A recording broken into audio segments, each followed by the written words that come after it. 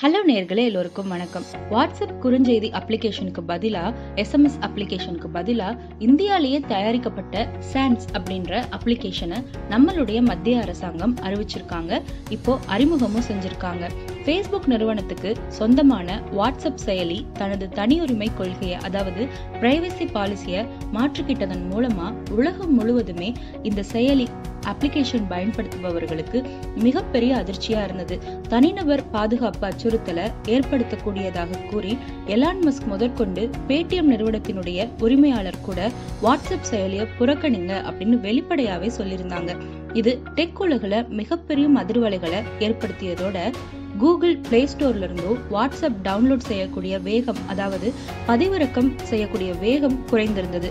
இது இந்தியாவிலையுமே மிகப்பெரிய சர்ச்சையை உருவாக்குச்சு. இதன் காரணமாகவே டெலகிராம் போன்ற அப்ளிகேஷனை நிறைய மக்கள் பதிவிறக்கம் செய்ய ஆரம்பிச்சாங்க.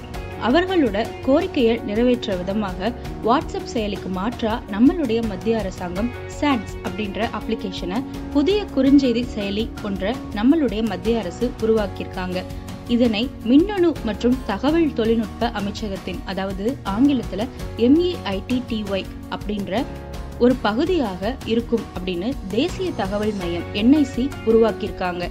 இந்த செயலியை பயன்படுத்துவது குறித்து மத்திய அரசு இதுவரைக்கும் தெளிவான விளக்கம் எதுவும் கொடுக்கல. ஆனா அரசு அதிகாரிகள் தகவல்களை பரிமாறிக்கிறதுக்கு அதிக அளவுல இந்த செயலியை பயன்படுத்துமாறு கோரிக்கையும் வச்சிருக்காங்க.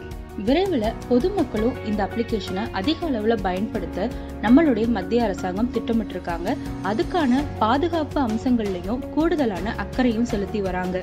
சரி நேர்களே மீண்டும் அன்றன்றைக்கு நடக்கக்கூடிய முக்கியமான தகவல்களோட உங்களை நான் சந்திக்கிறேன். அந்த தகவல்களை நீங்கள் தெரிஞ்சுக்கிறதுக்கு நம்ம சேனலை சப்ஸ்கிரைப் பண்ணிக்கோங்க.